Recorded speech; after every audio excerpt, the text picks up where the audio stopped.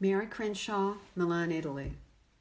How does this work upend taxonomies or classification systems? This work models delineations between photography and painting.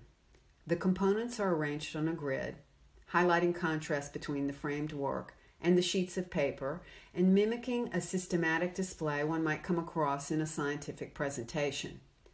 The framed pieces are painted photographs. Applying paint has transformed them into paintings. On the other hand, the sheets of paper treated with cyanotype chemicals, put on with a wide brush, accidentally developed over time. Because light seeped into the black bag that held them, photographic images of the chemical brushstrokes developed, thus making what seem to be large painted brush marks on sheets of paper in reality photographs. In simple terms, what appear to be photographs are really paintings, and what seem like paintings are in fact photographs. Mary